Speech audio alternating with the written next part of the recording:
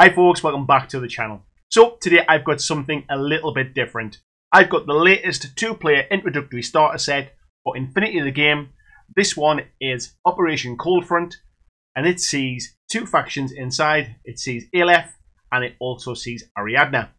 Now we're going to take a look and see what you get inside the box today. But if this is your first time here, thanks for watching. If you're interested in Infinity, either as a brand new player, never played before, or if you're a bit of a seasoned player and you want to try and help me along my path, why not click the subscribe button so you don't miss any uploads from me.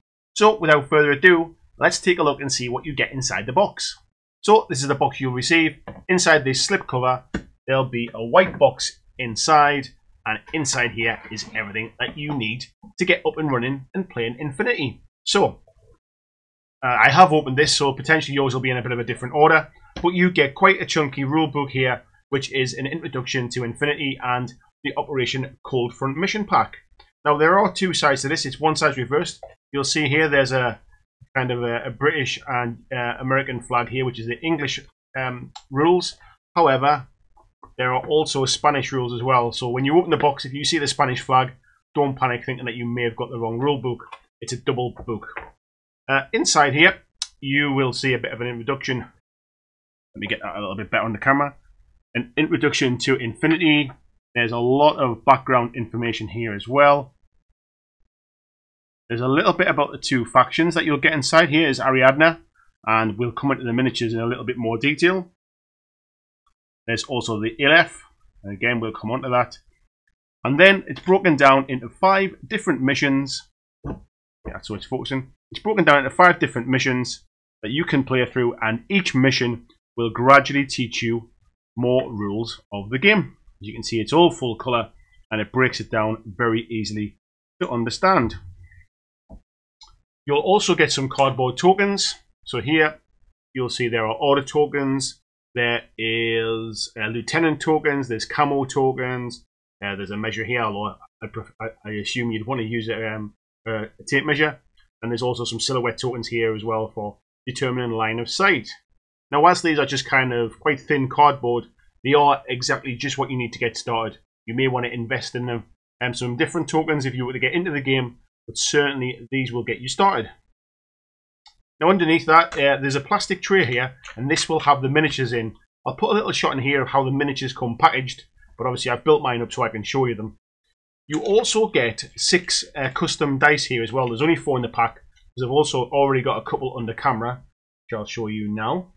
Um, the one on the left there is the Ariadna custom dice, and it has the Ariadna sort of faction logo on the one side, and the white dice there on the right is the Aleph dice, and again the uh, the faction symbol is on the one. So underneath the tray, you then get this pack, which inside, if I just move this one away, inside is the scenery to enable you to play.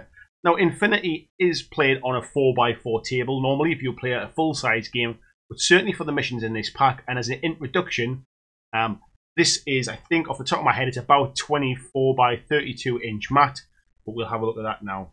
So, inside, a little bit of information about what you get in there. You then get this, which is double sided. One side is a very um, nice Infinity poster, should you want to uh, decorate your your gaming room or your gaming cave. Um, it is slightly bigger than that actually, but I just don't want to get it, can't get it all on camera there. But on the flip side is the actual mat that you can play on. Now it is only paper, which obviously is not uh, probably not ideal for long-term use. However, I'll put a link to a video I did for Walking Dead on how to turn your paper mats into a board by uh, backing them with mount board. That will be quite useful for this. But certainly for these missions, this is exactly what you need. And as an introductory box, it really is useful to have everything you need inside that two-player set. Lots of two-player sets then assume that you've got you've already got some scenery or you've got something you can use. This one here actually has everything you need. Speaking of which, let's come on to the scenery itself. So once you open it up, you'll see this cardboard scenery, and you might be thinking, why do I want cardboard scenery? Like that won't last very long. However, you're just starting out. You won't have anything. And as I mentioned before, this is a two-player introductory set, so it really does get you up and running. Everything you need is in this box. So there's one, two, three, four, five, six of these smaller buildings or containers, and then there is one, two, three, four of these bigger ones. And they go together really easily, as you can imagine. They're just sort of cardboard boxes where they fold in and flip around. And there you have scenery ready to go, like a small container. Perfect. Now, the bigger ones are a little trickier, but still not too hard to do. And again, these just fold. Uh, the bottom bits fold inside.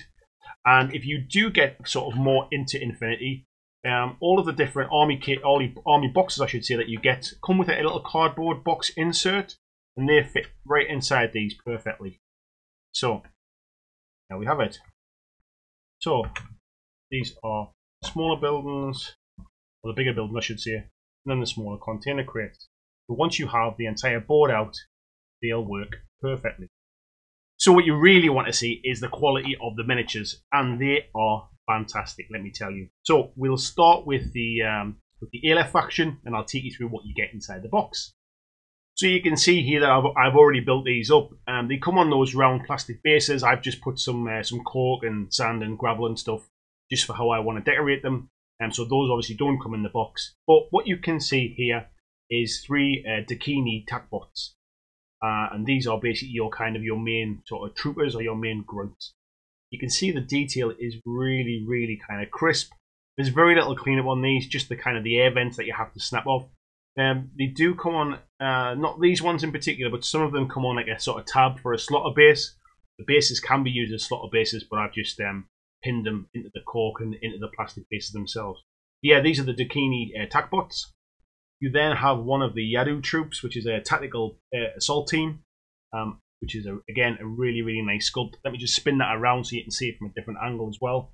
You can see how she's kind of leaning in and, uh, and shooting up into the sky there, or shooting up against somebody who's looking down on her with a bit of a sniper perhaps. But yeah, re again really crisp, really nice, uh, really nice sculpt. Next up, we have a Devas Functionaries, which uh, looks like kind of a some kind of human esque, almost a little bit like Vision, I think, from the Avengers. That kind of sort of um, sort of AI controlled type thing. I'm not, I'm as you can tell, I'm not big up on the, on the fluff yet. I've literally this is my first sort of foray into Infinity, so apologies if I'm butchering any of this. But anyway, you can see it, it is a really really crisp model. Um, what you probably can't see in that picture is just the, the kind of the detail on the head. Let me try and zoom in a little bit. That just gives you a bit of an idea of just how nice the quality of that is as well.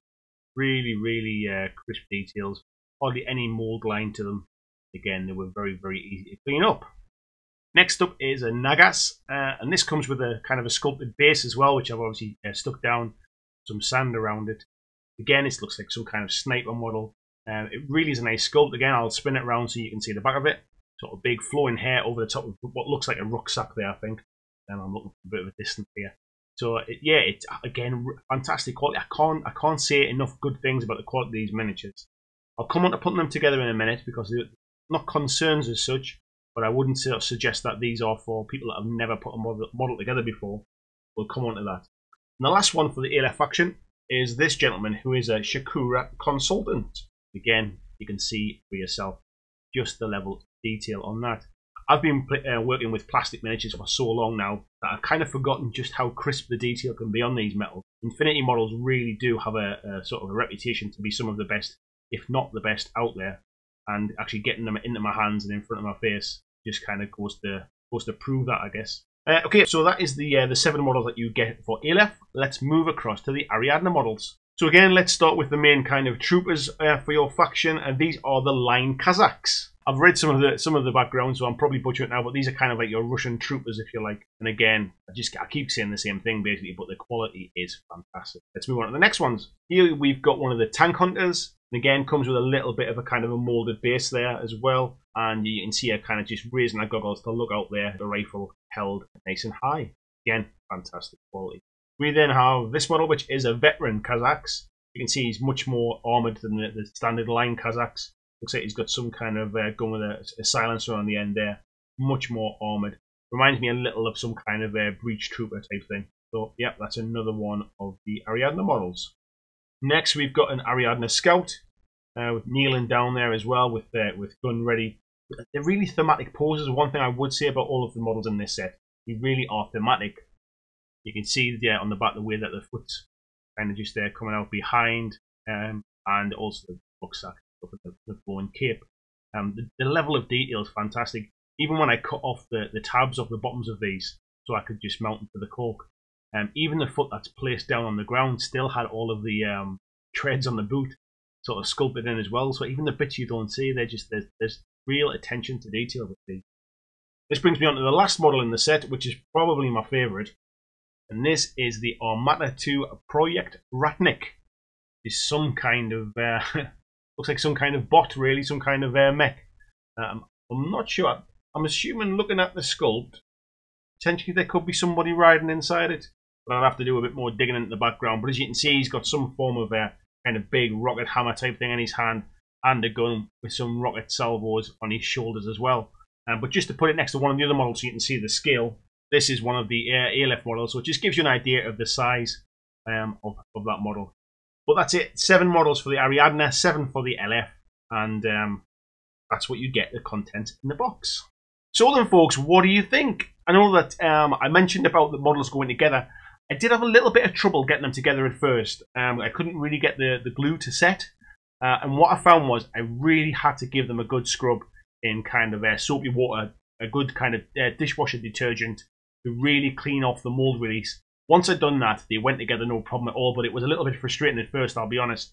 Uh, what I would say is they're all digitally sculpted, so the actual fits in their arms and the, um, in the legs where they come together is absolutely sort of sort of crystal cut. It fits together perfect. It's a really nice tight fit. I've not done any green stuffing on that. I've not done anything. I don't think there's anything that I'll need to do. Um, so quality of the models, I just re- again I've said it before. I can't sort of speak just how good they are. You've seen them on camera there as well. But hopefully you'll agree with that as well.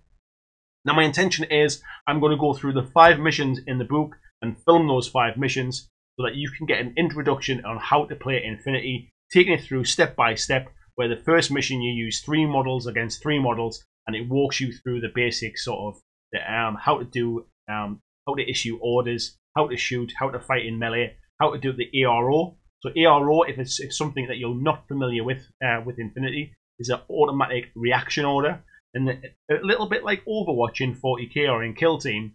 If you can see a model and it, and it makes a move or it shoots, you can shoot back at it, which is a really interesting kind of mechanic and it means that when you're playing the game, you don't just kind of switch off and let your opponent take their turn and wait for it to come back to you. You're constantly kind of involved in the game. And I think there was a bit of a tagline years ago where it's it's always your turn, and that's certainly the case. So I've read through um, some of the missions. Um, what I would say is I think it breaks down what many consider to be a complicated rule set. It breaks it down into really kind of bite-sized chunks, gives you a fantastic introduction into the N3 rule set, which is the latest version of the Infinity rules. And if you're interested, make sure you click that subscribe button, click the bell notification as well so you know when one of those videos goes live. I'll get through those and I'll see you in the next video.